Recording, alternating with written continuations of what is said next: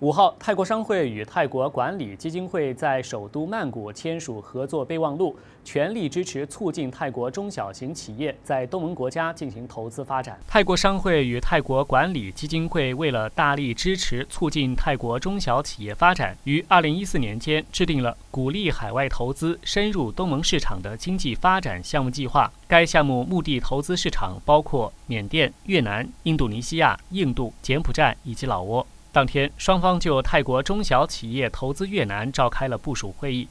本次投资越南项目为许多拥有发展潜力、有意向投资越南的泰国企业创造了良好的契机。越南作为双方合作的首个投资项目试点，合作双方及参与试点投资的四十二家泰国企业都给予了极高的重视。越南拥有九千万人口，自然资源丰富，社会生活稳定，消费水平正在不断提高。越南政府给予外商各种优惠政策，拥有巨大的市场发展潜力。迄今为止，已有一百多家泰国企业投资越南，并成功打入越南市场，这为有意投资越南的泰国企业树立了良好的榜样，提供了充分的信心。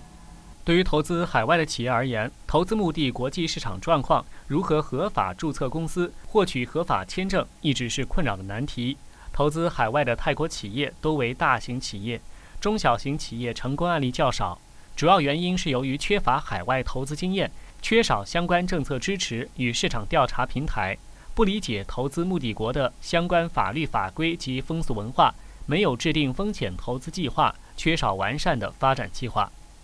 此次双方的强强联手合作，将为有意投资越南的中小型企业提供越南市场的详细资料，提供便捷的投资贷款渠道，普及相关法规政策知识。与大型企业交流经验，制定完善的投资计划，降低投资风险。相关发言人表示，将越南作为首个投资试点，在将来的一年时间里，会在印度尼西亚、缅甸两国陆续开展落实这个投资项目。在国家相关政策的支持下，我们看好2015年东盟共同体时代这个绝好的发展契机，希望更多的中小型企业加入我们的项目，为泰国经济发展共同努力。